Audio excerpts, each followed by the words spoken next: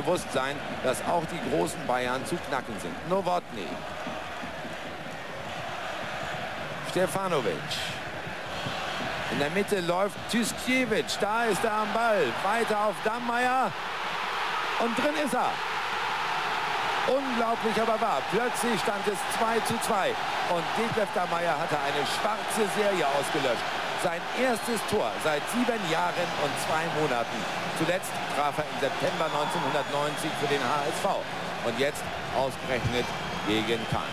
Klasse herausgespielt, das Bällchen lief aber die Bayern deckten auch nicht eng genug. Matthäus und Nerlinger kamen da jeweils zu spät.